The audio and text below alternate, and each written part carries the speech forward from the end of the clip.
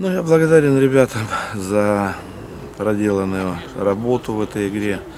В этой игре два немножко разных по содержанию тайма и по схеме разных. Если в первом тайме мы играли э, 5-3-2, во второй тайм мы изменили схему на 4-4-2, но в силу определенных обстоятельств, э, дабы э, рас- распределить равномерно нагрузку всем тем ребятам, которые готовятся чемпионату. Здесь по позициям перестановки были все.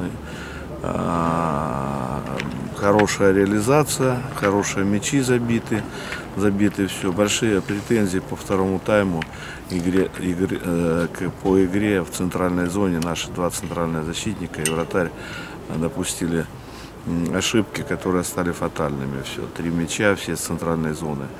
Будем разбираться, будем работать. А так, в принципе, я э, естественно, результатом доволен. Все.